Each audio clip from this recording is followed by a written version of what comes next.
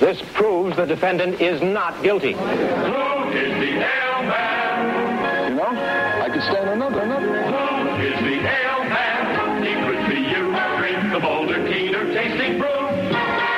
Valentine Ale. Hi, Tom. Hey, Pete, how's it going today? How's everything going with you? Uh, things are going pretty good for a change. Uh, How's everything going good? well, uh, uh, uh, let's see, I uh, cut down on my drinking, which is good. Well, wait a second. Well, we just were out together. We just went to the junkyard with you. And on the way back to the junkyard, you just cashed in some aluminum cans. And the first place we went after you cashed in the aluminum cans was a 7-Eleven to buy one of those giant beers. Where is it? You have the giant beer with you? I got a giant Let's beer with let's me. see it. Uh, Let's see a giant beer. uh, is what you're talking about? yeah, a giant, beer. That's the replacement for the 40 ouncer. Yeah. I tried, Yeah. I tried to get a Miller uh, 32 ounce, but they never had it. How's about inviting me along? Oh, you wouldn't fit in. I'm joining my mother and her friends on a private yacht. What are you handing me? Your mother on a yacht? Yeah, my mother on a yacht. Uh, What happened to your feet? I dropped a few rocks on it, trying to bust a window out of uh, my mom's car because uh, I got locked out. How'd you get locked out of the car? The police locked me out. Police locked you out of your mother's car. Why did they do that? A buddy of mine was driving and uh, rear-ended the car. Uh, she went to run the uh, yellow light and decided to stop real quick like, and he rear-ended her. Oh, so why did they arrest him for that? Uh, driving under the influence. So how long has your mother had the car? Uh, about six years now. And now it's kind of like totaled. It's totaled. It's totaled. Uh, So how long were you using it when you totaled the car?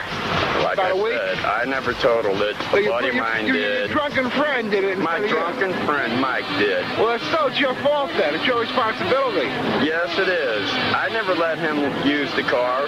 My mother never let him use the car. Uh, he just took it. I, you were never with him. I never gave him permission to You were with it. him, weren't you, when he took it? I was sleeping. I was on my medication. I was sleeping when the accident happened. I don't know how it happened, but according to the witnesses, she went to run the yellow light and it turned red, and she stopped and rear-ended her.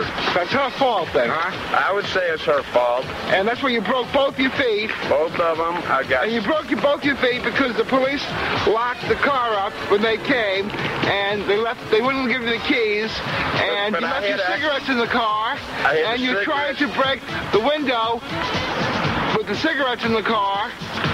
Uh, to get your cigarettes out, and when you were trying to break the window, the big rocks that you were using to smash your mother's window to get your cigarettes uh, fell on your feet. I picked a cobblestone up, threw it at the back window, and it bounced off the back window like a bullet. It hit me in the left foot. Picked the cobblestone up one more time, threw it at the window again. It shot off like a bullet. That's an hit the- unfortunate accident. Hit the right foot. It's still black and blue all right in here, but there's a pen coming out right here, right here, right here, and right here. And uh, you can see them. They're coming out, and even when I just barely touch them, it is painful. Right here's where the rock hit me one time. I got drunk one night, and uh, the damn cast was so heavy, I decided to cut it off with the electric saw. And I Cut cut your it. own cast off. Yes, I did. I- That's why the pins are coming out. that's why the pins are coming out. Eddie loves drinking and driving. That's good stuff.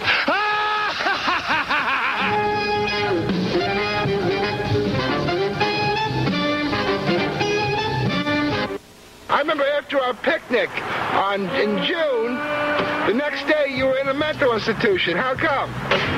Well,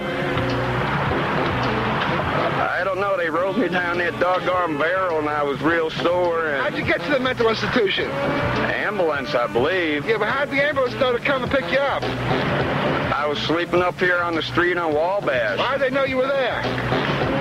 Somebody called and said there was a dead body laying up on Wasn't that you who called? Didn't you call on so? Now, this is going to be self-incriminating, eh?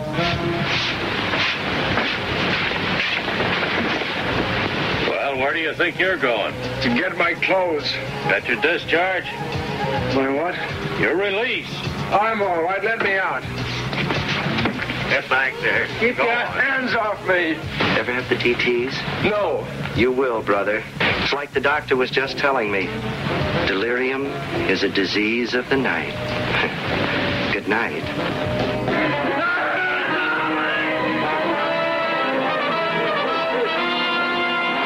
Are any of these problems that we've talked about alcohol related? Practically all of them. Now, do you ever think that you might want to stop drinking? Well, I have cut down. I've cut down quite a bit. There's good points and there's bad points about drinking. What are the good points? There ain't no good points right as of yet. It, it just cost me money. It cost me self-injury. How many. DWIs do you have? Uh, this uh, time, uh, this month, uh, let's see, I got about eight of them. Eight. Eight. And uh, how many driving without a license, uh, suspended licenses do you have? 15, I think. 15. Yeah. Well, Tom, when you ever think about maybe stopping drinking? And turn to drugs? One thing I don't care what anybody says. Sometimes there comes a time when I gotta have it. I gotta have it, you hear me? I gotta have it. I need it bad. I'm just as plain and simple as you can plainly see. That's why I'm plain and simple, as simple as can be. Do you ever think about stopping drinking? You think of the hardship it causes you? Uh, yes, I do. Well, why don't you think about it more? I am enrolled in an alcoholic program down in Alexian Brothers, down on uh, Broadway and Chippewa.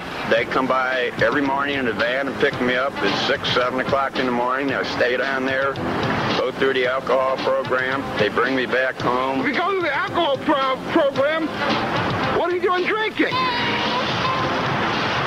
It helps my nerves. I quit taking my medication. I quit taking all my medications that the psychiatrist gives me, I need something to calm my nerves. Tom, I think you're a great guy. I think you're a funny guy. You're an entertaining guy. You're a nice guy. But for Christ's sake, stop drinking. Well, I try. I'm doing really good.